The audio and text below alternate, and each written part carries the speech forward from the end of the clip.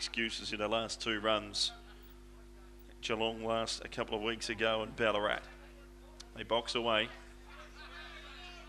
This is the last, the Edwards Electrical Grade 5. And they're nearly ready to go. Green light. Kyrgios 220, 340, Unmid Bale, they're ready to go. Racing.